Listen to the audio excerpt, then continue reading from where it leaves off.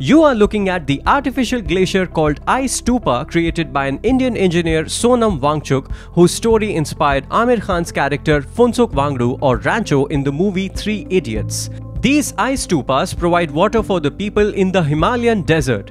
During summer when water is scarce, these 100 feet ice stars melt to provide water supply for crops. The project is so successful that Sonam Wangchuk was awarded the Rolex Awards for Enterprise for his work and was given the grant to build 20 glaciers and bring 10 million liters of water to the Himalayas in times of need. The real-life Phunsukh Wangdu is currently working on solar battery houses and power system for a mountain-to-mountain -mountain light-based Li-Fi internet technology that could bring connectivity to the remotest of Ladakh and the world.